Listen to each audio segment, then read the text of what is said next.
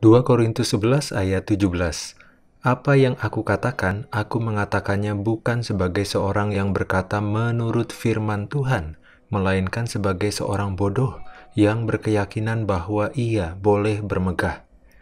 Maksud ayat ini apa ya?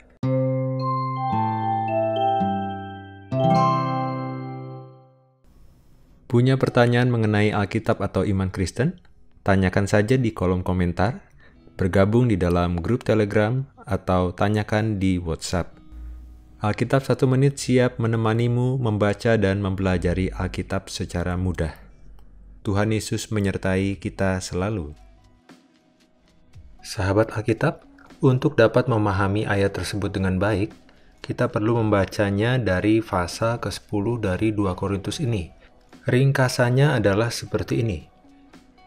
Pasal 10 ayat 1 sampai 11. Rupanya kelompok penentang dalam jemaat Korintus bersikap kritis terhadap Paulus dan menolak otoritasnya. Dalam ayat-ayat ini Paulus menjawab tuduhan mereka bahwa ia adalah pemimpin yang lemah dan penakut. Ia meyakinkan mereka bahwa pendekatan kepemimpinannya konsisten, entah saat bersurat atau berbicara secara langsung dengan mereka. Lalu ayat 12 sampai 18. Di sana Paulus menolak terjebak permainan lawannya di Korintus. Mereka menyatakan diri lebih unggul daripada Paulus dalam kemampuan kepemimpinan mereka. Alih-alih memperdebatkan isu itu, Paulus menyatakan bahwa hanya penilaian Allah lah yang terpenting. Kemudian, di dalam pasal 11 ayat 1 sampai 6, Paulus memperingatkan ancaman guru-guru palsu yang akan memimpin orang percaya di Korintus untuk mengikuti mereka daripada membawa jemaat kepada Kristus. Di ayat yang ke-7 sampai 15, Paulus menopang dirinya sendiri ketika menyiarkan Injil di jemaat Korintus. Ia mengungkapkan rasa frustrasinya bahwa musuh-musuhnya bahkan mengkritiknya dalam hal tersebut. Ia menuduh mereka berusaha meruntuhkan kepemimpinannya dengan menggunakan taktik-taktik yang salah dan menipu. Nah, sahabat Alkitab, sekarang kita masuk ke dalam bagian pasal 16 sampai 33 yang ditanyakan itu. Dalam ayat-ayat ini, Paulus menuliskan beberapa kesulitan yang ia derita dalam menyebarkan Injil. Rangkaian doa dari kesengsaraan membuktikan bahwa ia adalah pengikut Kristus yang sejati. Hal serupa tidak dapat dikatakan dari mereka yang mempertanyakan kepemimpinannya.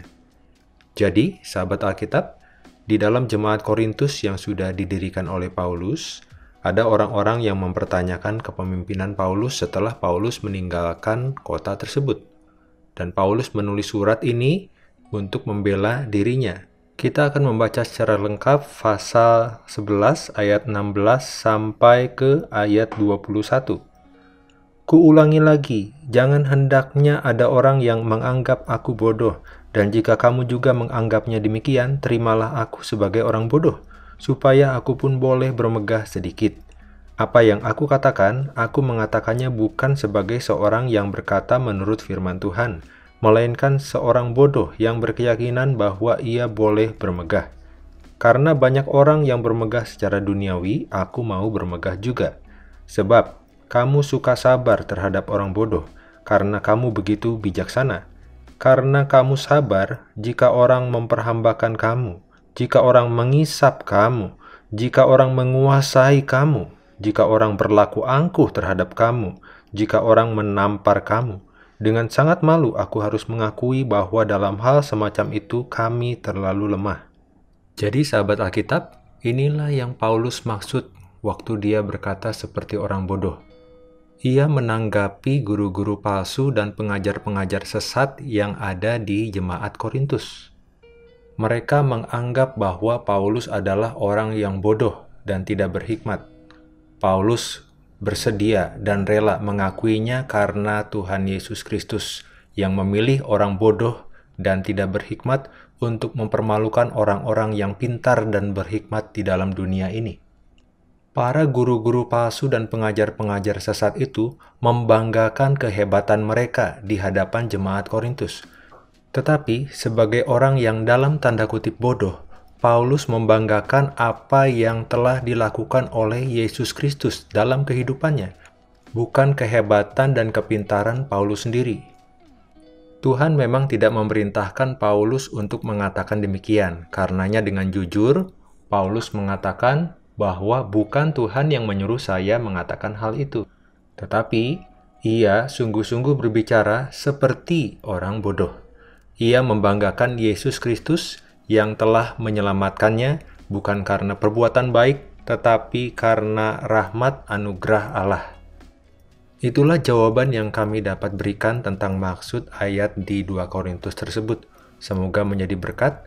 Sahabat Alkitab, biarlah semua yang kita lakukan di dalam kehidupan kita beragama tidak membuat kita menjadi sombong, tetapi semakin kita rendah hati, semakin kita melihat bahwa begitu besar anugerah Allah di dalam Yesus Kristus yang menyelamatkan kita bukan karena kita hebat, pintar, kaya, cantik atau cakep, tetapi karena kita adalah orang-orang berdosa yang dikasihi olehnya.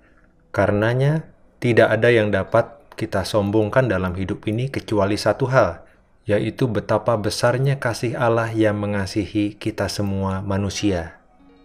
Sahabat Alkitab, bacalah Alkitab langsung secara pribadi, bukan sekedar kata orang atau search Google. Bacalah sampai katam berulang-ulang secara rutin setiap hari. Alkitab adalah kitab suci yang cukup tebal, tidak bisa membacanya selesai dalam sehari, tidak ada jalan pintas.